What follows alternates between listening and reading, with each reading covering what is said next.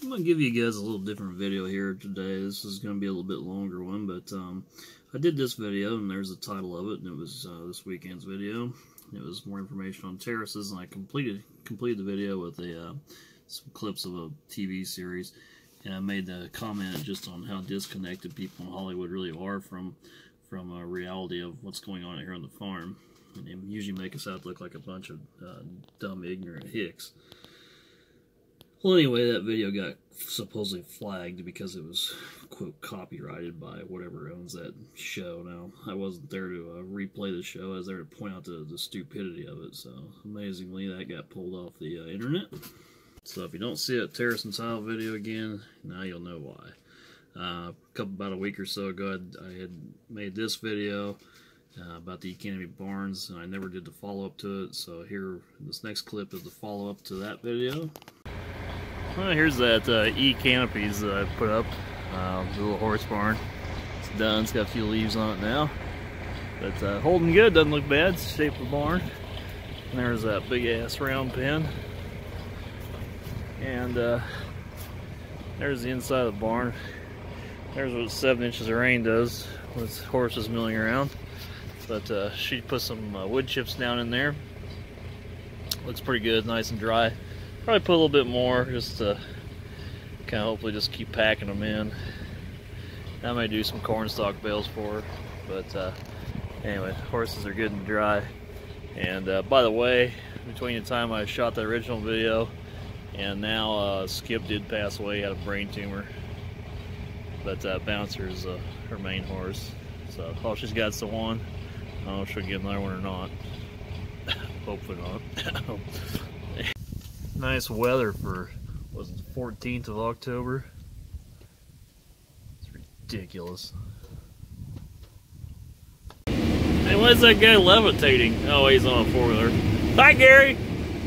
well, as you saw in yesterday's video, the uh, Fendt 1050, I went ahead and unveiled it, and I was going to do some teasers on that, but I just went ahead and dropped the ball on because I figured you guys were going to be catching the background anyway. This is just a picture of a V1300, and uh, this next clip, you'll be seeing me put the uh, first dump on it. It's uh, first dump it's ever had. Um, worked great. What I'm seeing in the cart already, I really like it, and as you can see in this picture, how the auger comes out at an angle, and I'll talk about that more and do reviews on the cart throughout the season but it works great. Here goes nothing. First dump. Never been on this grain cart ever since the minute it came off the assembly line. I think I shut the trap. I guess I'll find out. I did the video here of terraces explained in a planner quote I threw in at the end. And I, since these are public comments, I'll just go ahead and read this one. You can read it along here with me.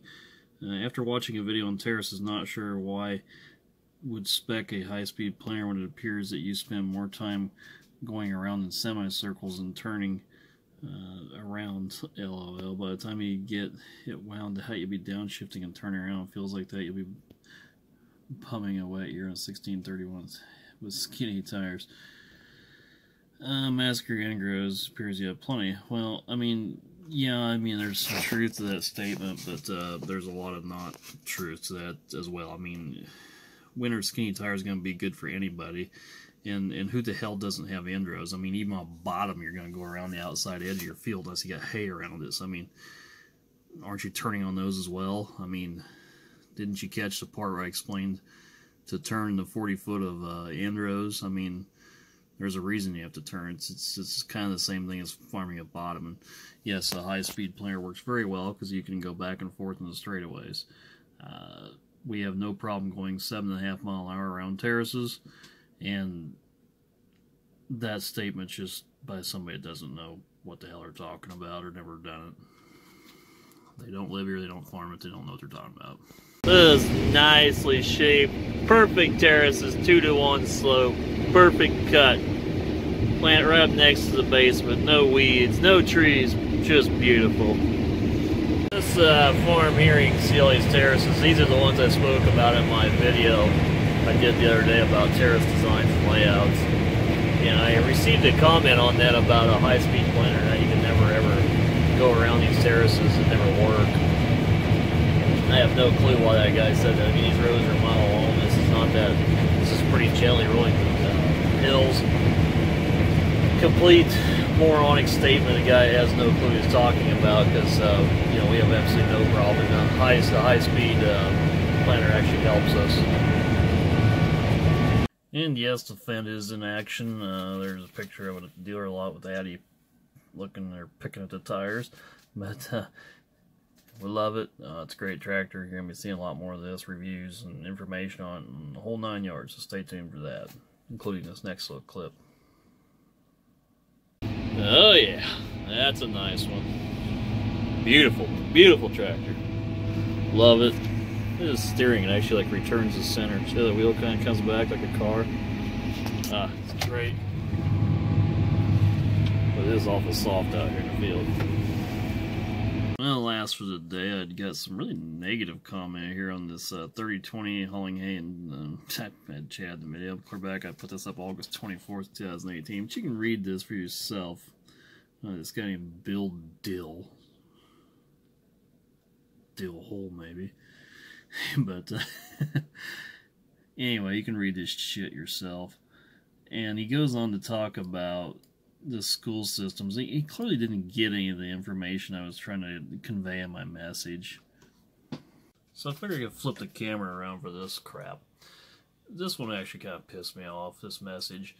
And, you know, uh, that was not the point of my video. The point of my video was to talk about what laziness teachers have anymore. The teacherness, teachers used to, well, let me back things up my uh, grandmother was a school teacher, and my dad was, she taught school for over 20 years, and my dad was on the school board for about uh, 12 to 13 years, and uh, until he just couldn't stand it anymore. But every year they would go into binding arbitration, they would argue, and they would increase teachers' pay. I mean, no matter what, the arbitrators would come in and negotiate. Teachers' pay went up every year, period.